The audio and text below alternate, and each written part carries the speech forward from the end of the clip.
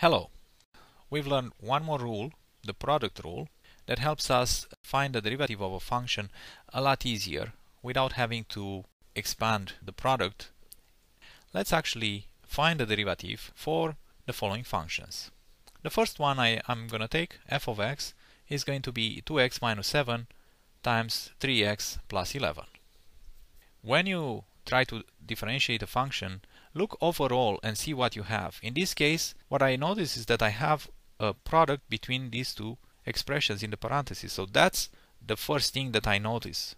Globally, I have a product.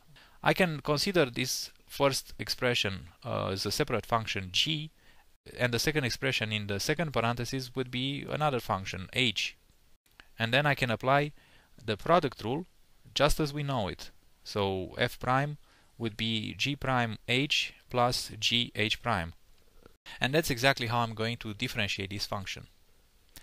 f prime of x is going to be, explicitly I'm going to write what am I going to differentiate first. So it's going to be ddx of 2x minus 7 times 3x plus 11 remains unchanged, plus now I'm taking the first expression 2x minus 7 unchanged times the derivative ddx of the second expression 3x plus 11 and now I can uh, evaluate those expressions.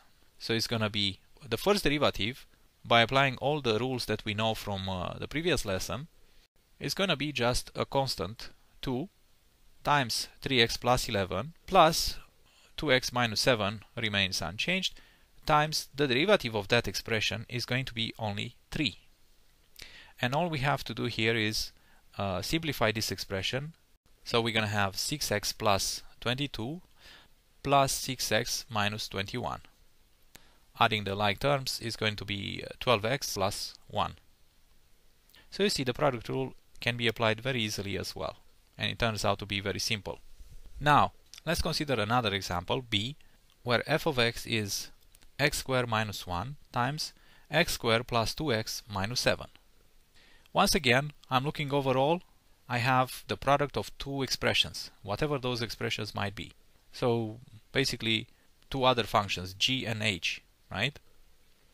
The derivative f prime of x is going to be, and I'm going to try to evaluate this expression a lot um, uh, more directly than uh, the first time. So first, we derivate the first expression times the second expression unchanged. But what is the derivative of the first expression, this uh, ddx of x squared minus 1? Is nothing else than 2x.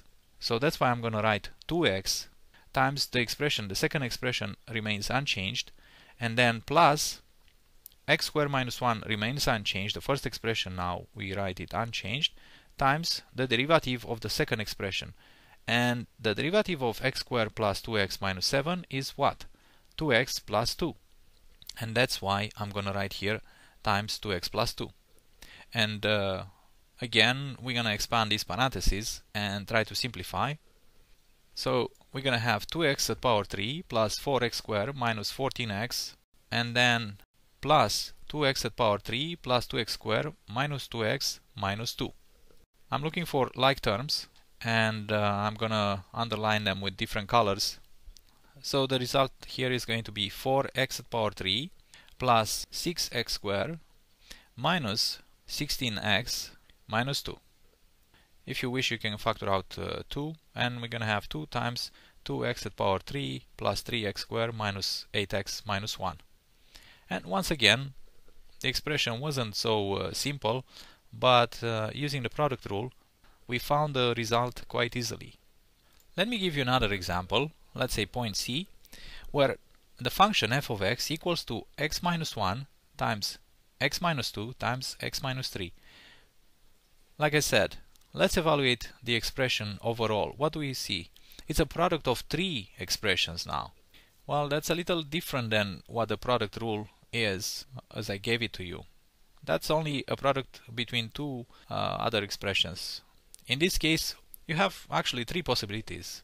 Consider the first two expressions as a single expression. Uh, let's call that uh, g and uh, x minus 3 to be a second function h or uh, you can take g to be only x minus 1 and h to be x minus 2 times x minus 3. So group two of these expressions in only one.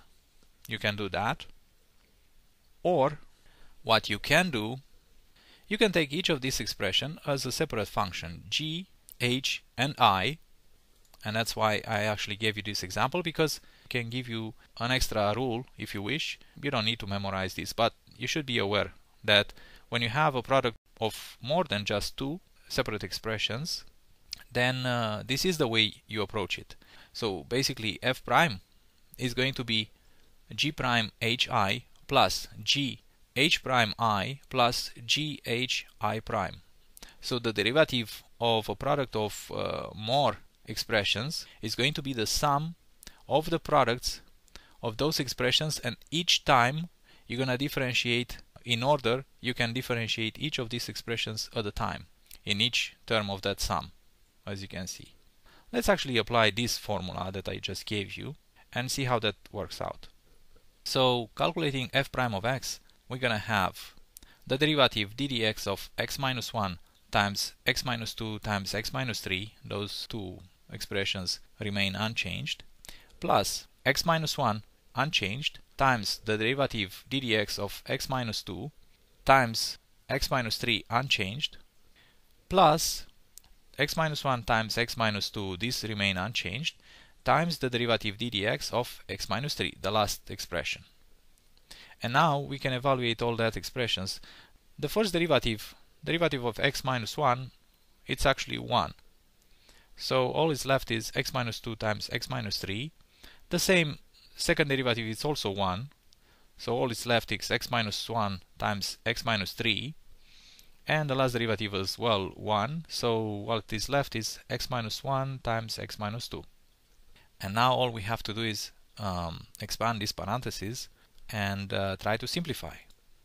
We're going to have x squared minus 5x plus 6 the second product there is going to become x squared minus 4x plus 3 and the last product is x squared minus 3x plus 2. I'm looking for like terms. We have x squared, x squared and x squared. Then we have minus 5x, minus 4x and minus 3x. They are like terms also. And the constants are 6, 3 and 2. So let's add up all the like terms together we're going to end up with 3x squared minus 12x plus 11. So this is the derivative of the function I just gave you earlier. I told you you have three ways you can approach this function by applying the product rule. But as a matter of fact, remember how we used to handle a product when we didn't have the product rule. We actually expanded this expression on f of x and we would differentiate the result so let's try to see if that works out any better than this. I'm going to expand the first two parentheses first. So I'm going to have x squared minus 3x plus 2 times x minus 3. And now expand these two parentheses as well. I'm going to end up with x at the power 3 minus 3x squared minus 3x squared plus 9x plus 2x minus 6. I have minus 3x squared minus 3x squared. They are like terms. I'm going to add them together. And the result is x to the power 3 minus 6x squared plus 11x minus 6 and actually differentiating this expression it's kind of easier than what I had before so f prime of x is going to be I can directly calculate it um, it's 3 the exponent times x to the power 3 minus 1 so it's 2 minus 6 times 2 which is 12 x at power 1 I'm not writing that plus 11. Of course, I get the same result like before. I just calculated this just for verification. The idea is that you have all these uh, different rules, so you can choose when you have to determine a derivative for any type of function. You have a multitude of uh, formulas that will help you improve the workflow. If a question is asking you to use a rule in particular, then you should be able to use that requested rule. So practice with all of them so you know how to uh, use them when you need them. For now, thanks for watching.